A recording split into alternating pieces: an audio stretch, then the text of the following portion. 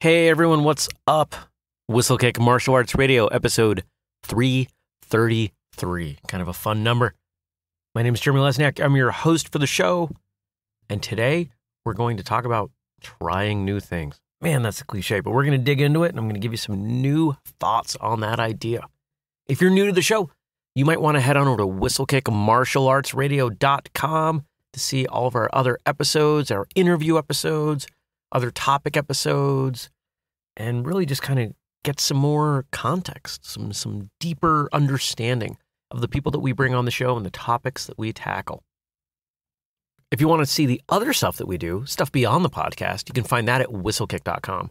Whether that's our products, our other services, everything from gear to oh, what else do we have? Um, I'm, I'm thinking carefully when this is going to air because of some of the other stuff that's on the way. That honestly, by the time this airs, there will be other stuff. But just in case it doesn't work out, I'm not going to say it. So just go on over to whistlekick.com and check it out.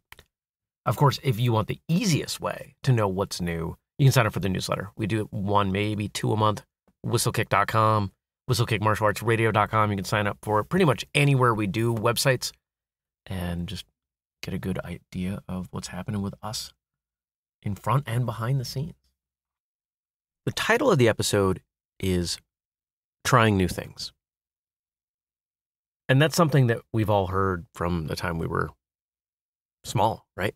Your parents told you to try new foods and try hanging out with new people and try new sports and try, try, try. And why do we have to do that? We have to try new things because it's kind of hard to know what will benefit you, whether it's enjoyment or health or any of the other positive outcomes come from an experience unless you've experienced that thing. But when we talk about it in the context of martial arts, there's a lot more that we can talk about. Yeah, sure, we can talk about cross training. We can talk about training with new people, even within your own school. We can talk about trying your your techniques in a new way. But it's broader than that. To me, it's it's more of an overall concept, a willingness to experiment. And so by trying new things, I'm actually going to encourage you to experiment and I'm going to tell you why. I'm going to give you some of my thoughts, not just as a martial artist, but as a business owner of where and how experimentation plays a part. Now, if you follow us on social media, you may be aware that we've been playing with a morning show concept Monday through Friday. And honestly, in the early days, it was seven days a week. I have rolled out of bed and done a 10 minute morning show. We started it entirely on YouTube and just yesterday released an episode on Facebook. And I'm recording this on a Wednesday, even though it's going to air on a Thursday. And on Thursdays, the plan, at least for now, is to try doing live on Instagram. Now, why are we doing that? Why are we kind of bucking the the efforts that we've made and mixing the pot up again with a show that, while it's certainly not huge and not even close to as big as the podcast, is growing and has received some positive feedback. Because I don't know what I don't know. For all we know, Facebook is the place that this live show should go. It could be Instagram. And if not, it's good to know that YouTube is the right spot. Whenever you do something, you should be learning from it. Whether that's you've learned this is the right way or this is the wrong way. And that's a mindset. People go about their day and not recognize that the things that they do right are educational. We've all heard the cliche, you know, you learn more by messing stuff up than getting things right. And that's absolutely true. I fully believe that. But if you approach that same mindset to getting things right, you'll look and you'll find, hey, there's still opportunity for progress. there are still ways that we could experiment. There are still things that are wrong. Every time I record an episode for this show, I get stuff wrong. I screw things up. Now, some of those things you never experience because we edit them out. It might be the longer pauses that I wish I wasn't taking. It might be the times that I go back and record a section again. And that's the beauty of this format is that we get to do that. And you don't always hear my mistakes. But to be honest, I've been leaving more of them in. I think it's a little more authentic and it saves us a little bit of time. The more effective I am as I'm recording, the less time it takes us on the back end to bring this episode out. What if I knocked it out of the park so well every time that we added a third episode?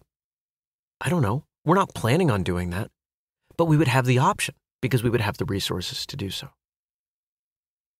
And when I look at this show, this morning show, which by the way we call First Cup, because I drink my first cup of coffee every morning, live on the air. There are plenty of people who would say, no, no, just stay with YouTube, just keep chugging along with that and see what comes from it. Well, I like to learn and to iterate, to continue to improve as quickly as I can. That's how you get growth. We've got a stable foundation with what we're doing with YouTube. We're still going to do it three days a week. But by adding Facebook and Instagram one day a week each, I don't know what the results will be. Whether there are benefits or not, I will learn something. Now, how does that apply to martial arts training? If you go to class or you teach class and you do the same things over and over, you've got a pretty good idea what the results are going to be. If you're the instructor, you've got all kinds of options, nearly an infinite number of options. But not all of them are effective. And if you're the instructor, you're probably looking at the students and saying, you know, they're the ones that really have the opportunity to try doing things differently. Because there are so many things that you could focus on, even within basics. You could prioritize your stances, you could prioritize power or speed. You've got the opportunity to experiment. But if you're the student, you're probably looking at the instructor and saying, well, they're setting out the class, what happens in the class, the tone of the class. They're the ones that really get to experiment. And the issue with that is it's really easy to forget how much control we have because we tend to be so focused on the bigger stuff, the macro level. When you consider the nuance, there's a lot of options. Let's say you're at a school that does ki-ais or ki-ups or spirit yells or whatever you might call it in your school. I've been to schools that practice those on every movement. I've been to some that practice it only on certain movements that are designated or sometimes on the 10th repetition. I don't know too many people who put thought into deconstructing and experimenting with. I grew up with calling it a ki, so I'm going to call it a ki with their ki-ais. I could focus on volume. I could focus on trying to scare the person next to me with it. I could focus on the way it makes me feel as I project that sound during my technique. That's a pretty small thing. And there are three ways that I could experiment and see what the results are. Now, to be honest, I'm pretty sure that if I experimented with volume, the outcome would be I wouldn't be able to speak well for the next couple days. but is that something I could train? Would that get better over time? I don't know. I could try it. And you could apply that same mindset to absolutely everything you do in your training. Some of you out there know that in 2016 we held a tournament a martial arts tournament. We called it the Whistlekick Martial Arts Showdown. It was a big event. It went well. I learned a lot. And the result of it was a book called how not to hold a martial arts competition. And it's actually available as not only a book, but a, a full online course because I learned a lot. I learned a lot from the successes, but also the failures. And one of the major themes through the book and through the course, and, and I'll, I'll give this one away. And if you want to find more out about it, you can go to karatetournamentbook.com. Uh, I think we even release a, if you sign up for the for that newsletter, which never goes out, uh, you get a few chapters. At some point, I'll go back and and work on version two of that. But I got other stuff going on right now. Anyway, that's a tangent. Back to the main point.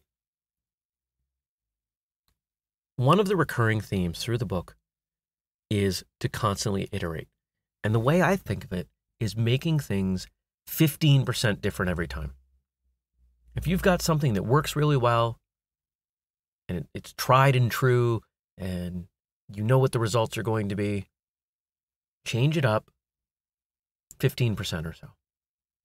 Because if that 15% that's different is a complete bomb, if there's no benefit to it, you still have 85% of what you were doing. But more than likely, at least some of what you do will be beneficial. And it's entirely possible that it will be much better.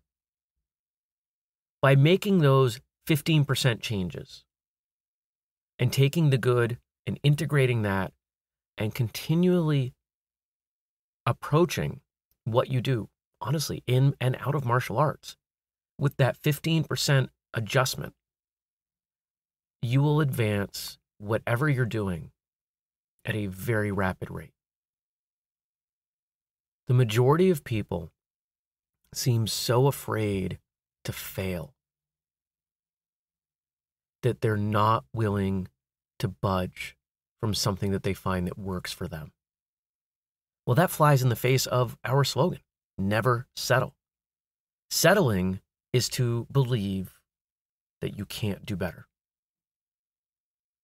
Well, either you're settling because you're scared, or you're settling because you're arrogant and you believe there is no improvement. I think both are BS. One of the reasons we do so many different things at Whistlekick is I'm always trying new stuff. 85% of what we do is steady. We make sparring gear. We have a few other products. We have some other projects like this podcast. And those things work well. But if I'm not constantly throwing stuff against the wall to see what sticks, I'm missing out.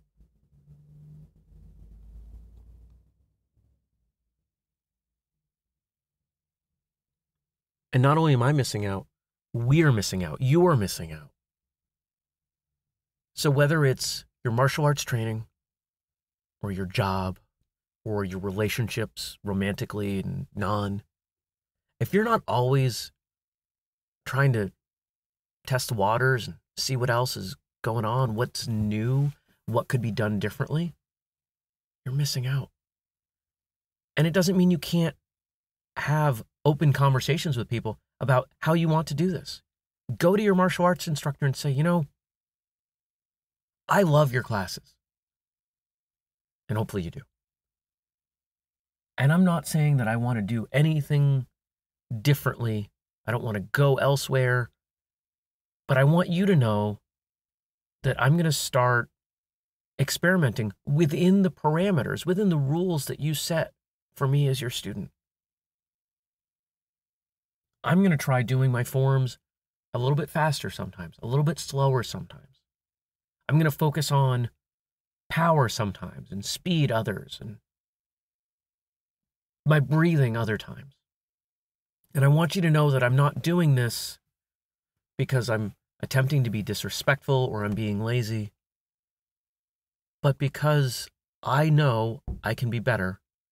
And one of the best ways I feel I can get better is to try taking the information that you've given me and applying it in different ways.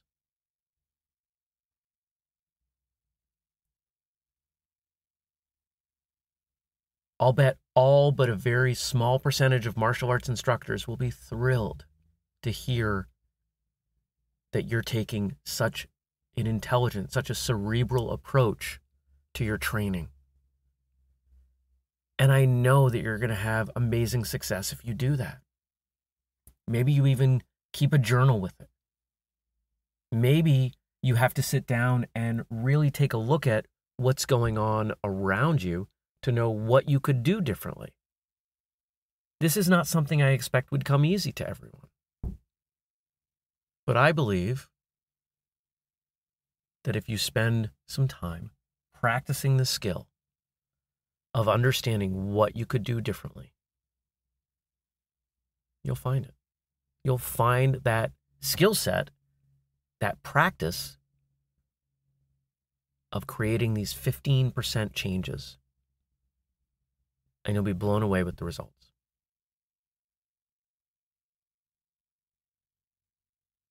I'd love to hear your thoughts. I want to know is this something that you do?